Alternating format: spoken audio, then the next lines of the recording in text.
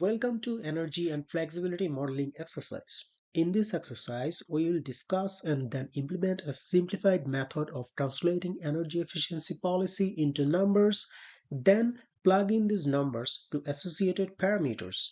First of all, let's have a quick look on what is energy efficiency policy. Did you know that the concept of energy efficiency policy is not a new one? In fact, the first recorded instance of uh, energy efficiency being promoted as a policy initiative can be traced back to the ancient Rome, where Emperor Nero issued a decree to limit the use of candles during the day in order to conserve oil. Since then, energy efficiency policies have come a long way in the early 20th century, many countries began to adopt building codes that required the use of insulation, weather stripping, and other energy efficiency measures in new construction. Today, energy efficiency policies are implemented at national, state, and local levels and cover a wide range of areas including transportation, buildings, industry, and agriculture. In short, we can say energy efficiency programs and policies aim to reduce appliance energy uses while ensuring consumer satisfaction. By focusing on the load or demand side, these initiatives strive to maintain the same level of service while using less energy. But why do we need such policies? Another interesting fact about energy efficiency policy is that it is often a win-win situation for both consumers and the environment. By reducing the energy consumption, individuals and businesses can save money on their utility bills uh, while also reducing their carbon footprints and helping to combat the climate change. At the same time, energy efficiency policies can create new jobs and stimulate economic growth in industries such as renewable energy and energy efficient technologies. In summary, energy efficiency policy has a long and rich history and continues to be a critical tool in our efforts to build a more sustainable and prosperous future. Let us continue to support and promote energy efficiency policies at all levels and work together to create a brighter and more sustainable world for generations to come. But how do we implement energy efficiency policies and what are the implementation matrices as well as proven roadmap for this?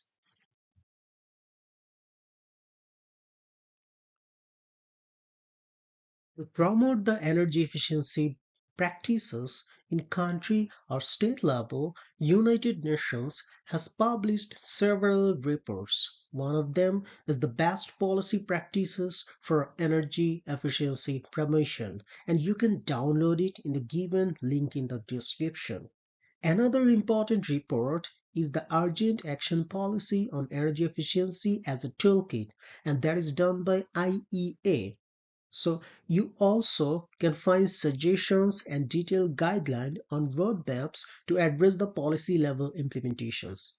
The energy efficiency policy from an implementation perspective ideally could be taken as an all-out approach mostly associated with the demand side management. So in our exercise today, we'll be focusing on the demand side management issues of energy efficiency policies. So wrapping this all together, we get a short background on what, why, and how do we fit in energy efficiency policy while modeling energy system. Now let's prepare an example policy of superficial country and gradually we'll translate the qualitative policy salient features to quantitative parameters. Let's continue with our exercise.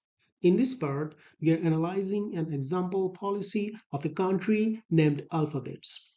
The government of this country are facing scarcity of primary energy resources and trying to reduce their reliance on imported energy supply.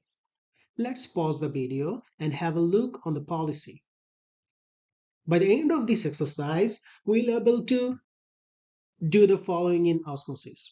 Model energy efficiency policy implementation on a starter kit, identifying and modifying the data parameters affected by the policy inclusions, implementing technology-specific constraints to model real-world alike energy transitions. In our exercise, you can find that we have divided our demand in three major sectors that are industrial, commercial, and residential. To simplify the implementation of energy efficiency technologies in each of these sectors, moderate and high efficiency technologies were modeled in the demand side. You will get a visual idea from the reference energy illustration.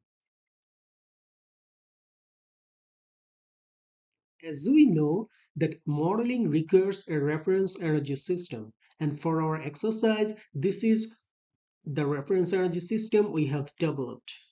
Let's have a closer look on it. Let's have a closer look on the energy transfer stages before we deep dive into the parameters. In a reference energy system, there are stages of energy transfer and in this reference energy system, we have marked them as commodities. And the commodities are being transferred from one form of energy to another with the help of technologies. And finally, being consumed by the end-use technologies in the right part of the RES. Now let's see which are the commodities and technologies will be changed or affected with our energy efficiency policy plugins. So as you can see in the RES, let's talk about the technologies. So the technologies marked in blue and as you can see in the figure, that are the technologies we have plugged in numbers that are two types of technology, each of the main demand sectors. So good and deep efficiency for industry sectors, good and deep efficiency for the residential sectors, and good and deep efficiency for the commercial sectors. So these are marked in the reference energy system. Later, you can see the electricity after distribution. So what the the transfer of energy at the very last stage will be affected. So that will be the ELC003 in our reference energy system. And last of all, the end-use commodities which are marked in red as you can spot on the RES will be affected, shortly named as these three items. Now let's plug in the numbers in our actual clicSAND interface.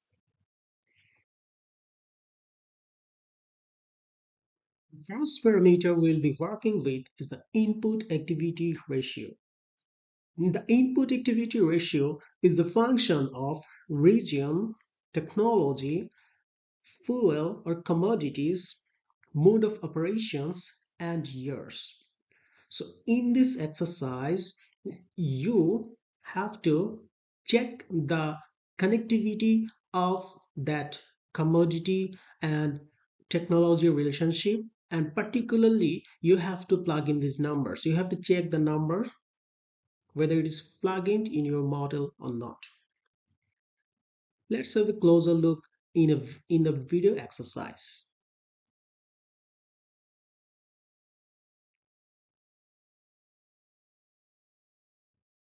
In the video, you can see in the parameter sheet, we'll start the filtering.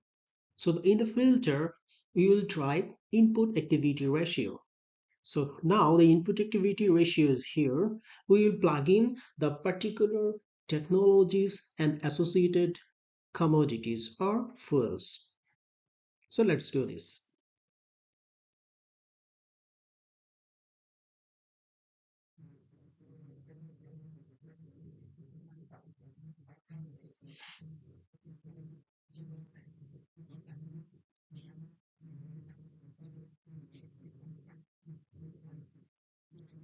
As you can see, for the industrial sectors, we just checked everything is okay here. The one is given. Your model might not have this so please check it and copy paste the values in full of the time horizon. So we are just adding these filters and making sure that everything is given in the model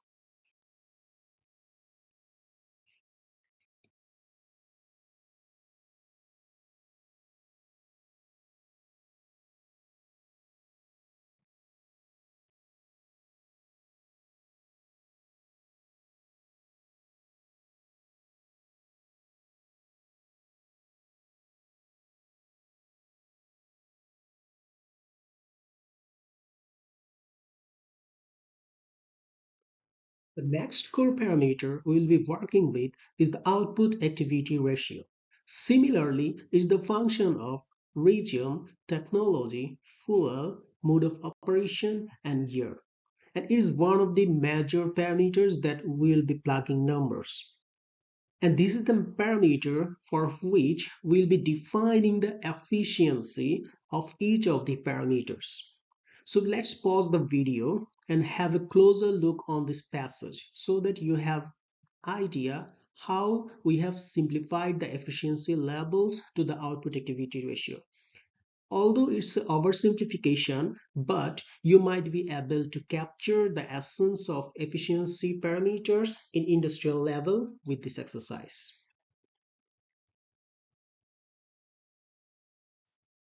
Now let's have a closer look with our video exercise.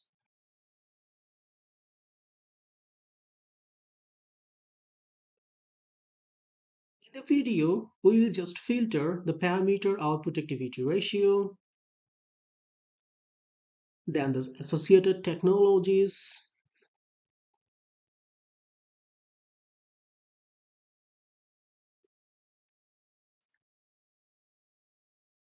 then associated fuel,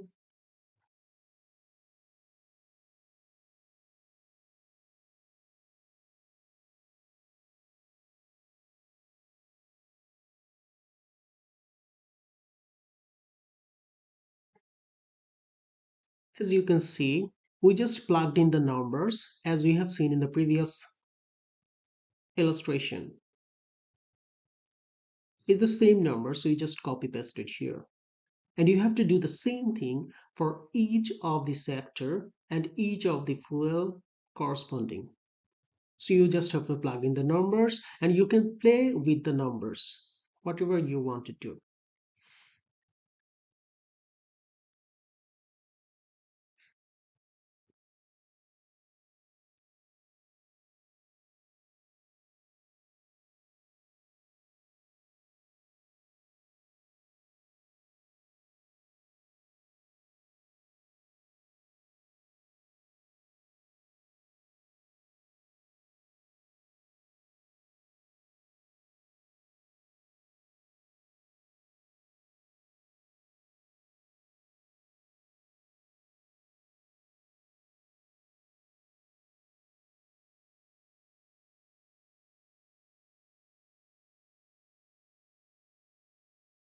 Our last parameter is capacity to activity unit.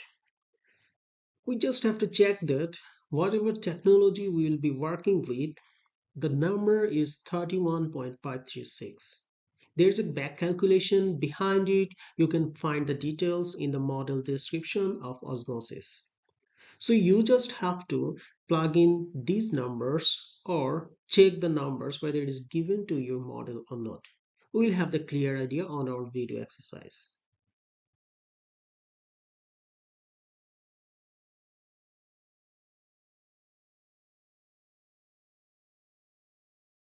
We are just filtering the capacity to activity ratio.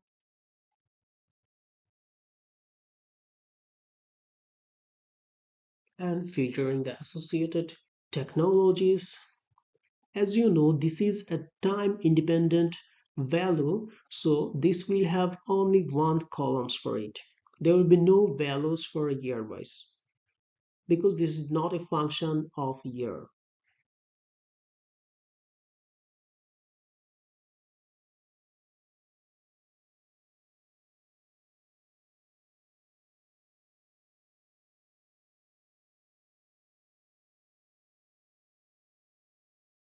Now let's have an idea about how to use our clicSAND interface and extract the data to run the model. So we are using one of the interfaces named clicSAND for our data processing. So what we have done in the Excel interface of clicSAND, we are preparing the input data file. Then we will use the model script to run our model. To run the model, we will simply use the OSeMOSYS Cloud. The address is given in the picture as you can see. You just have to open an account and run the model there. From the OSeMOSYS Cloud, you will have the reference energy system, the result file, and the charts. We will have a better look how the OSeMOSYS Cloud looks like.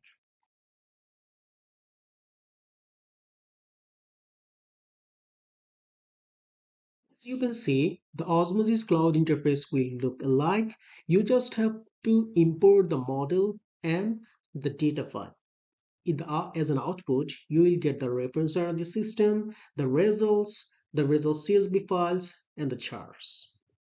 Let's have a look on the charts. It may take some time to take a load.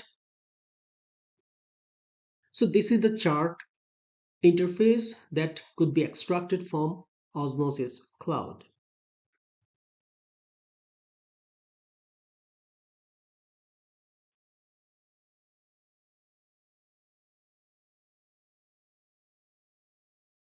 So these are the results we can use. Or we can download the data file from the OSeMOSYS Cloud and use the conversion tool to extract the results.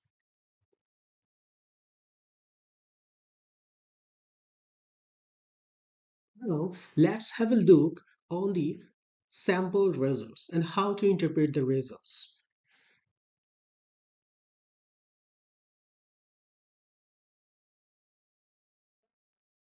Although the total energy consumption has a significant decline in energy efficiency case, especially in commercial and industrial sector, as you can see in the illustrations. But due to the rise in electric vehicle users, the consumption in transport is higher than that of reference case, as you can see. So check the transport section consumption during the 2001 to 2030. You can compare the results. Also, pause the video to check the remarks on this output so that it may help you to better understand the results.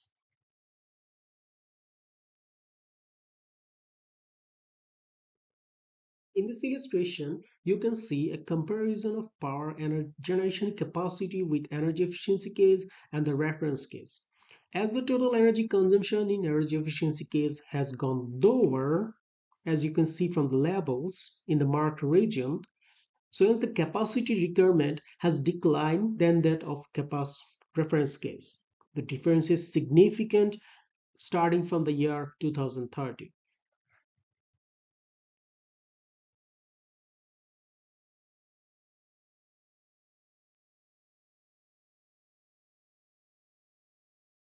Last but not the least, Another significant change we can see in the capital investment comparison. Investment for higher efficiency are usually costlier than lower efficiency technologies, but there are other factors at play as well. For instance, we may have to install less generation capacity, which may save some capital investment. Sometimes overall cost reduction is therefore difficult to guarantee, although results can assist in understanding the outcome. So this is one of the sample cases where you have learned about the energy efficiency parameter fitting into your model. Although this is a small part of the big scenario example, you can have an idea how to plug in the energy efficiency numbers into your model.